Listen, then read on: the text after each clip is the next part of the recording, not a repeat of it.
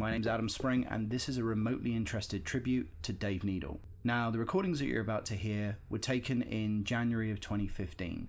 I met Dave a month later in San Francisco, which, looking at the timestamps of the photographs from that time, was literally almost a year to the date of his death.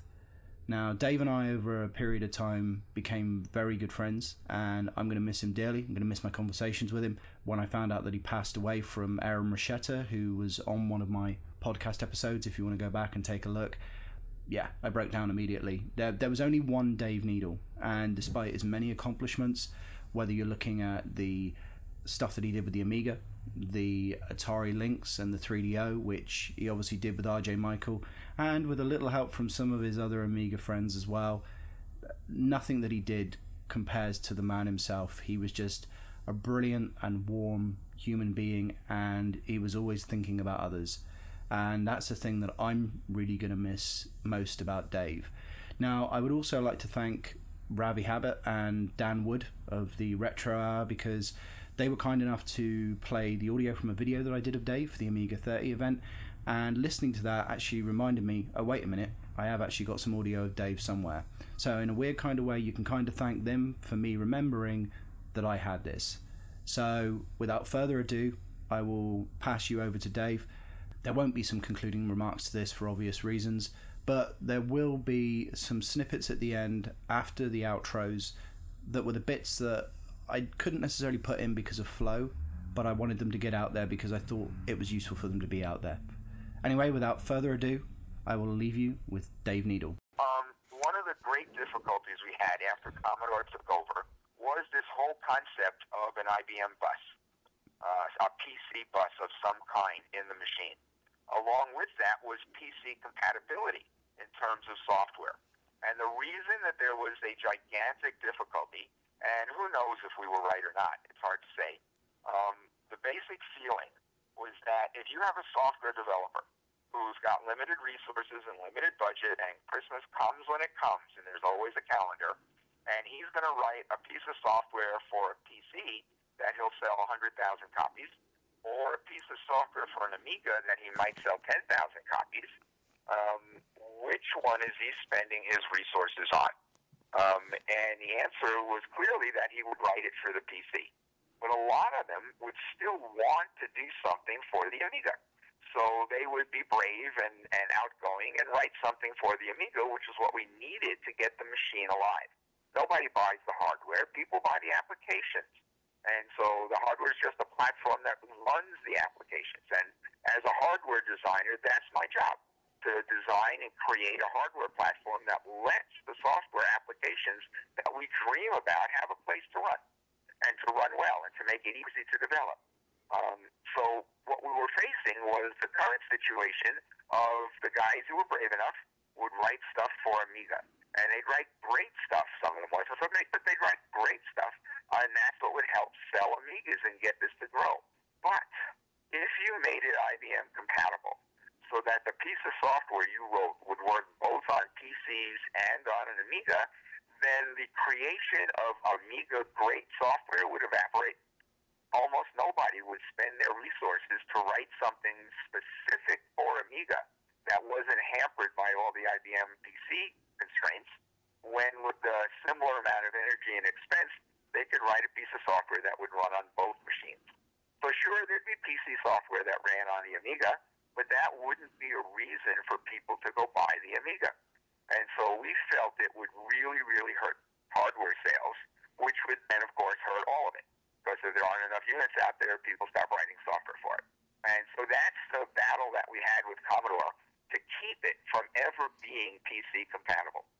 Um, we felt it was just only going to be a negative. Who knows if go right, but that was the business of whether or not you put in a PCI bus and what do you do for other kinds of expandability. Also, back then, I don't think we at Amiga had a vision of expandability in the same way that the PC world expanded. Um, the whole concept of plugging cards in uh, got to be pretty interesting. Yeah, we made an expansion bus. Yeah, you could put memory on the side because there was never enough memory, and you can put in external disk drives. Um, and then there was some kind of frame grabber, I think, that went on the side. I don't remember. There was a tower. There were lots of pieces of hardware that people came up with that you were able to use on your Amiga, uh, which we thought was pretty good. Uh, but I don't, I don't remember actually having a drive to having a proper bus like a PCI bus Okay. inside the machine. It happened long after I was gone, so I don't know. Okay. In terms of sort of like Jay Miner, um, did uh, am I right in perceiving that he drew a lot of influence from his experience in designing games systems and things like that? Did did did that a lot of that go in? Yes, he did. You have the story of who actually invented the Amiga. No, I don't. Um, it's hard to do without animations. Are you talking about Mitchy? Yes, Mitchy. Yeah, I've seen. So I've seen the video of you guys around in 1994, where you're basically doing the dog impression of. He'd look down at the dog, and the dog would go. Yes, that's the. That's Yeah. the story, is it? Oh, okay. The, yeah, because isn't the uh, the paw prints actually in, inside of the original um, 1000 is. box, isn't it? Yeah, as is Joe Pillow. Um, do you know the Joe Pillow story? I do not. I do not know. Um, it's a story you should get from R.J. and Dale because they were the ones. Um, and the story was just so incredibly good that when we were making the uh, the names to go inside, I also wrote in Joe Pillow. Joe Pillow was a creation on an airplane. Um, and it was such a wonderful, funny story.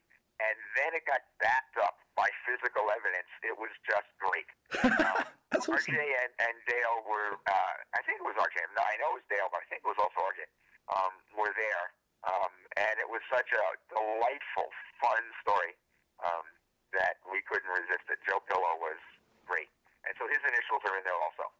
Um, as are, let's see. So one of the design engineers put in his name in English and Chinese, and he's not Chinese in any way. He's a straight, ordinary white guy, but he had the hots for a Chinese girl, and so he learned how to speak and write in Chinese. Oh, good man. So, what is the story of Joe Pillow then? Do tell me. So I'll tell you quickly, but it's more fun from them.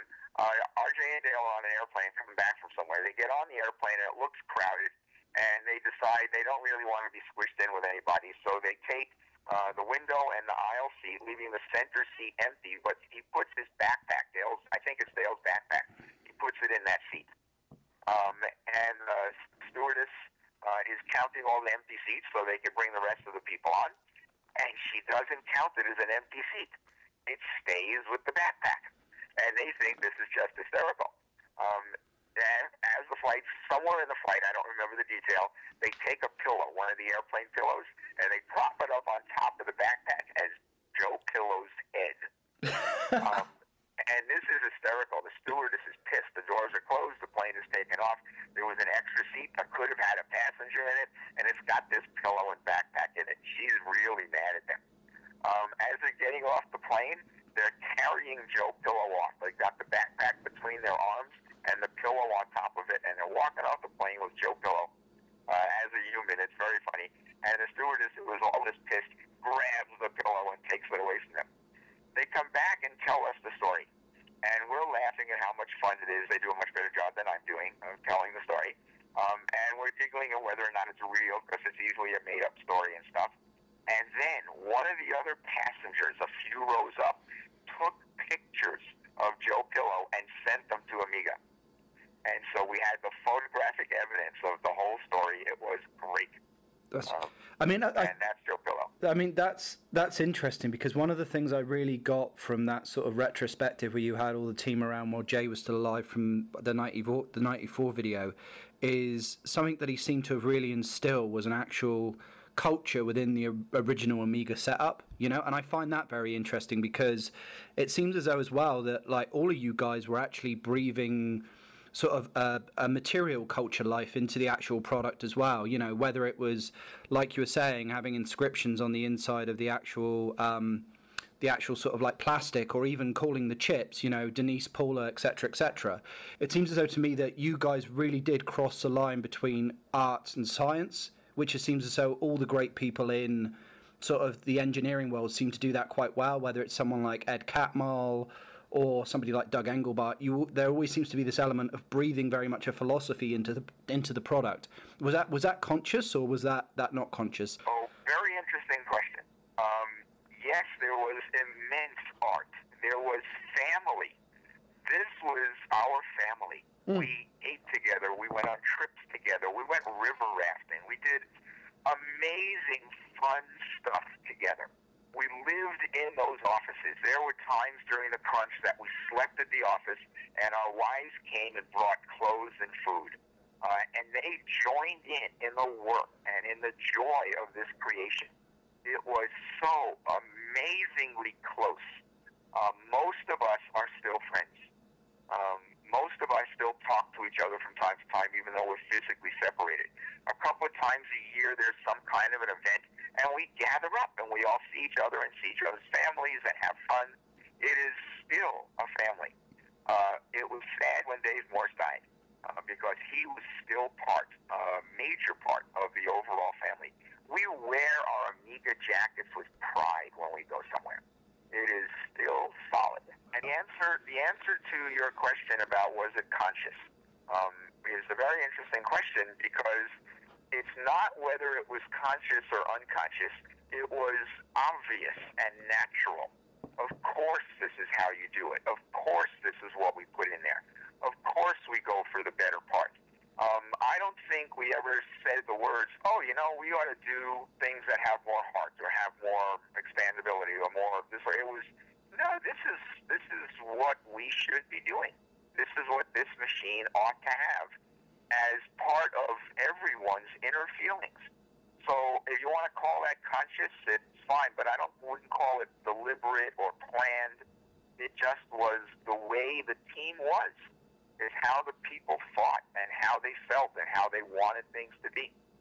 So I don't know what kind of title to give that, but that's the way we felt about it. Yeah, I mean, I just thought it was interesting because again, c- coming back to that interview that I watched of you guys, it was very interesting to see Jay Miner say it's very important to allow people to be different. That's why I wondered yeah. whether there was a conscious effort there because he seemed like somebody that was incredibly brilliant from an engineering standpoint, but he was also a very human being as well. So I was just I was kind of wondering whether you had the right person at the helm there that was just naturally just instilling the right values, so to speak. You know, of like this is just this is what we'll do type thing. You know. The values I think came from David Morse. He was a quiet man and very clear in his mind how things ought to be, not just from the technology, uh, not just from the architecture or the block diagram of the machine, but how the company ought to exist, uh, and how sales ought to run its function, and how marketing ought to produce things, and how we should manage field service and training. He had an amazingly great overall picture of how things should be, and he had the calm and the personal strength to make it come true. Um, very rare did he actually get angry at stuff. Most of the time, he would listen to everyone's point of view. Um, we would talk a little about what we thought would make some sense. And when we couldn't come to an agreement ourselves, which he tried to let us do most of the time, he would then direct and say, okay, here's what everything is going on, and here's what you're going to do. Well, here's what I want you to do. And everybody would then leave that room happy that Dave picked the path, and now we're all going to go do that path, even if, if it wasn't the thing we personally wanted at the time. He just made it work. Um, yes, Jay had a lot of great internal architectural concepts, especially in the silicon. Uh, the architecture of the silicon and the amazing cleverness in which things that ordinarily couldn't have been done in those days. Uh, there isn't enough amps to put in the power supply. There isn't enough space on the silicon. There's never enough nanoseconds. He created some really cool stuff um, that was on the inside. I learned a lot from Jay. It was amazing. It was the first silicon I ever did. I'd never done silicon until then, and he taught me how. Uh, it was amazing. Uh, but the overall family of how things go together, uh, Dave Morse would watch and would pick. He picked who came to the company and who didn't. Um, it was very good. He did a great job of keeping us in good shape, and then he helped us deal with people that weren't so great. Uh, there were times when somebody would show up and we'd hire them, and you know, this wasn't a good idea. Um, but and not from a technology standpoint, but from a personality and a flavor and a warmness and who they were as a person. Um, and so Dave, I, I credit him with keeping the team flowing and together and feeling that whole familyness that kept us doing things that, as you had said, might have been a conscious effort, but I don't think it was. I think it was the natural flow of the people and the team that came together. It was bringing the right personalities together by the sounds of it. That's very interesting. Wow. Yeah. Do you think the Amiga achieved everything that you guys had set out? Because, and I kind of ask that from the point of view that, you know, certainly I can tell you in Europe, it's remembered. Do you know what I mean? It's sort of like people yeah. know what it what it is. I mean, that may not be the same from an American perspective, but certainly from a outside the US sort of perspective, and even Canada actually. Um, do you think it achieved everything that you'd set out to do? Um, that's a very personal question. It'll be a different answer from person to person. Uh, for me, it did not. Uh, in America, it ought to have made the new standard for user interface. It had things that were. We had a Mac also at the time. Then we got a Lisa. It was very funny to look at the Lisa. Um, but Amiga's user interface could easily have become the clear leader. Um, the multiple screens, the things you could do on your screen, uh, real color, uh, so many things. Uh, multitasking, true multitasking, not the halfway junk of the other machines. Um, it could have been the thing that made computing for the planet so much smoother, so much nicer. Lots of people that would never touch a computer because they don't want to learn how would have an Amiga because they didn't have to learn how. Uh, you opened it up, you clicked, it was obvious, you saw what to do, it just did it right. Um, and that's what I was looking for Amiga to do. I wanted immense performance because a lot of things you can't do correctly if you don't have massive performance. And we were on our way. Uh, we needed a lot more memory, but that was expensive back then, so we had to work a deal out that got us enough memory, and that would have changed over the years without trouble. Just as the prices got better, we would have had more memory. Processors were getting faster, and that would have been easy enough to melt into everything we did. So none of those were issues in terms of evolution and growth. It was the user interface that was a world ahead, uh, alien to this planet, um, that I think was the legacy that should have been Amiga. Here's how you compute. Here's how you game. Here's how you do homework. Here's how you investigate the world around you. Here's how you make tools so that your life is more productive, better, more fun, more time with your family, more things you can do together. Play it on a TV set as TV sets got bigger and bigger. Um, it's that was the path for me. That's what I wanted. And because Commodore killed it, we never got there. And do you think there's stuff from the interface? Because I, I actually find this a very interesting point because I'm still trying to get my, my head around the interface in terms of going back to the impact of having an interface like that then to like, you know, because it seems as though Windows 95 pretty much was 10 years after what the Amiga had done. You know, it was definitely yeah. easily 10 years ahead of its game. Um, so coming back to that, would you say that there's still things now that have not been implemented that were implemented in the Amiga? Technically, yes. Metaphorically, probably not. I mean, you can have a lot of open windows, and you in Amiga you could do a lot of that with screens, and on a PC you can do similar stuff. You just don't need to because the multiple simultaneously operating windows works. Um, real multitasking sort of now works. Uh, it's not as good as it was on the Amiga back then. Carl was a genius, um, but it's just uh, it is stuff that's doable now on the other machines, even though it's not done the same way. Uh, okay. Uh, mouse clicks still okay. Um, PCs and Macs do them somewhat differently, and when I have to bounce back and forth, it's interesting to remember what's supposed to work. Um, so I think that technically, item by item, there are things that didn't make their way into modern computing, but there's other functions in modern computing that do the same job. Yeah. Because I, I, mean, I find it interesting because certainly, sort of going back and now knowing sort of hardware and software a lot more from the technical angle now than I did before, although I always had an interest in it. Um, I find it interesting that you kind of you created in a different generation of computing what is there now and it was from being resourceful in terms of how to, like you were saying about the memory and stuff, how to be resourceful in terms of information flow and how to make it work with what you had at that time. Modern day computers do a lot of stuff brute force. Yeah. They don't care that it takes extra power. They don't care that it takes tons of memory uh, because memory is cheap and power's got cheap.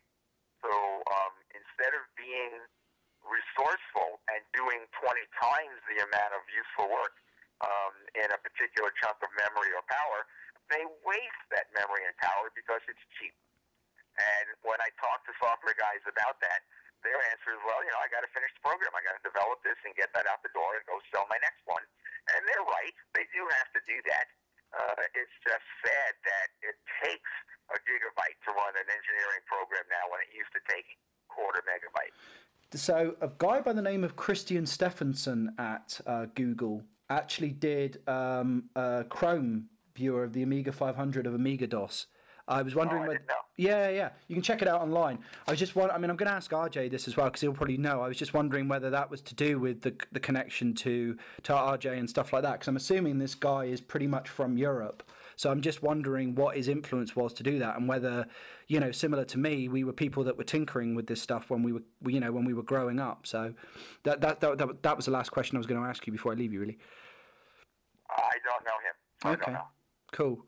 Well, I mean, for now, thank you for your time, Dave. Um, if possible, if I need to talk to you again when I'm rejigging things, I'd really appreciate that. Sure, call whenever you want. Yeah, great, fantastic. Um, yeah, and I mean, I'd just like to say, you know, thank you for everything that you've done. You know, for somebody that now lives in the US but comes from Britain, you know, I can let you know that certainly I was of that generation where, you know, the generation of things like the the Atari Lynx, the 3DO, the Amiga, that was my generation of computing, so to speak. You know, and I really. How old were you when you when you first saw Amiga?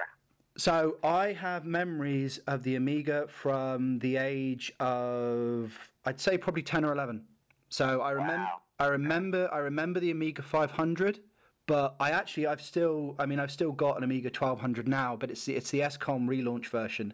But the Amiga 12 the Amiga 1200 was the one that really hit home because when when that came out there was such a there was such an incredible sort of gaming presence in the UK for the Amiga that it was just it was such a massive system. I mean, I sent you some links uh, via email a little while ago, but if you check out two programs, uh, one called Games Master, and I can send you the link for that, and one called Bad Influence, which was more of a computer science stroke video gaming uh, program aimed at children of that time the Amiga was just a constant on it. They, I mean, but also as well, you had Atari Lynx being reviewed on there. They reviewed Batman Returns, for instance, which is the game I remember on the Atari Lynx, and they also basically have like the 3DO launch and things like that as well. And there's actually there's actually an interview on that program where they go to Electronics Art, Arts as the 3DO was being developed. So it was yeah. So um, that's what I'm just saying. In terms of perception, it was absolutely massive in the UK. Basically, how much? Yeah, the demand was massive. That's that's why it amazes me. The d- demand was that in Britain in particular. Demand was absolutely huge, and then Germany again was just another on another scale. Still an Amiga magazine going called Amiga Future, and that's actually based out of Germany. There's one. It's printed in German and it's printed in English to give you an idea of yeah. So so it's left a sizable print. You know, it's left a sizable print. Yeah. So I live in Alameda, um, and we have uh, in our city government a closed TV system that they put the various government functions on on one of the channels on the local TV. Yep. Um, they run that with an Amiga and a toaster. And in the if a long time ago, it used to be great fun because the system would crash, and everyone in the city who was watching that city function television would get to see Guru meditation uh, on their TV screen. And it was hysterical because no one had a clue what that was, but I would laugh when I go to that channel and it would be saying Guru meditation. I loved it, just hysterical. Uh, and then eventually they swapped it out for something else, but for many, many tens of years, it was an Amiga. Hello there, my name's Adam Spring, and I'm here to talk to you about a number of ways in which you can stay connected with and contribute to the Remotely Interested podcast. As I've said before, it's listener supported, and I love to include you guys as, as much as I can. Anyway, the big two are iTunes and SoundCloud, which you can subscribe to. Also, for SoundCloud, you can follow, you can like, you can share, you can do a number of things with the content that I put up there. There's also Google Play where you can check this podcast out, and there's also a Facebook page that you can like. Now, in terms of connecting with me directly, there's a Twitter handle which is at that interested. You can also follow and reach out to me there. And there's also the remotely interested email as well, which is contact at remotely interested.com. Anyway, I love doing this for you. I hope you enjoy it, and thanks for listening to the show.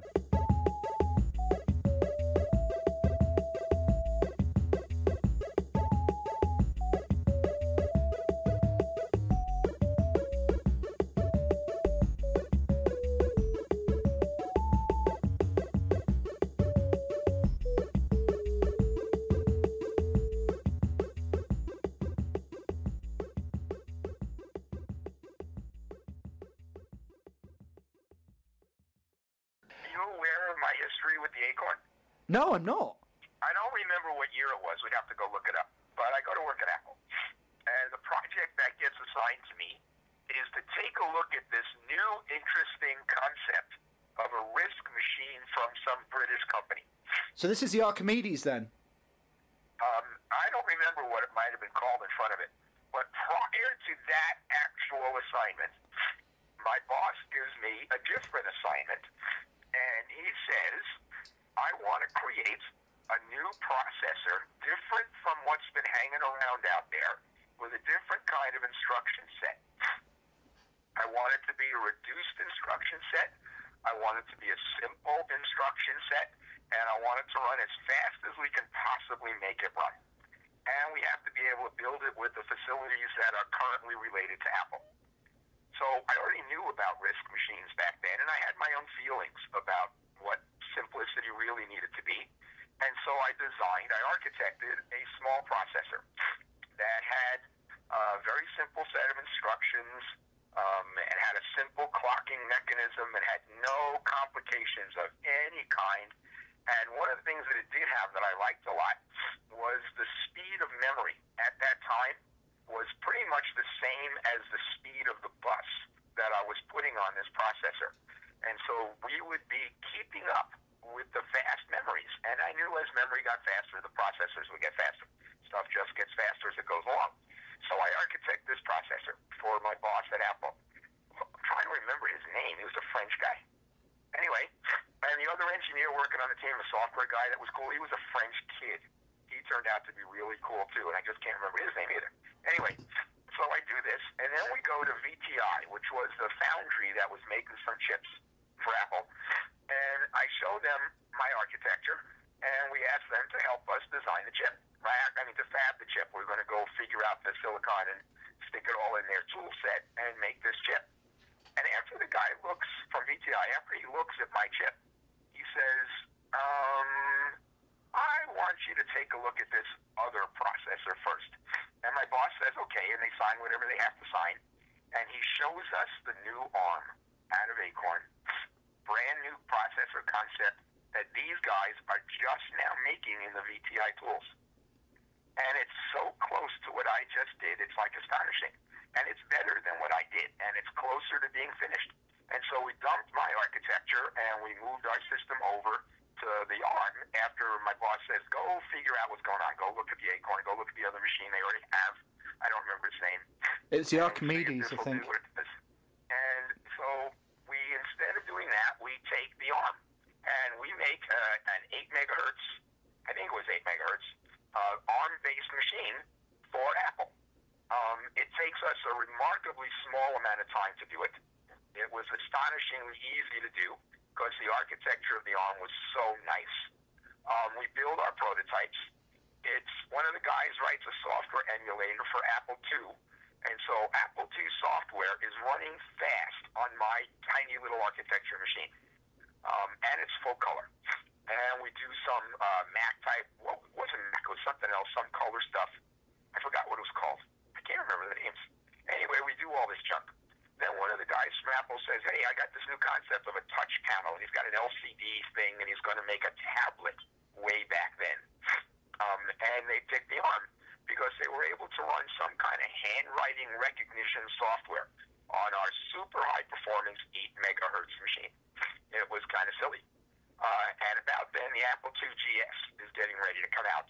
And Apple management votes for the 2GS instead of the ARM machine we just did. And they shelve the ARM machine. The 2GS comes out. I'm pissed and I quit. Well, I was involved with the ARM. Um, as soon as I started using it, it was great. I used it in lots of little things. when we did NTG, and then which turned into 3DO, the processor was an ARM, and we I forgot what speed we were initially running at, and it was the idiots from that took over NTG. I'm sorry, that took over and made 3DO that insisted the ARM had no future. They felt the company was going to die. There would be no support for the processor, and they weren't going to commit to the two years of development and software and everything we already had that worked just fine on ARM, and went instead to a Power PC.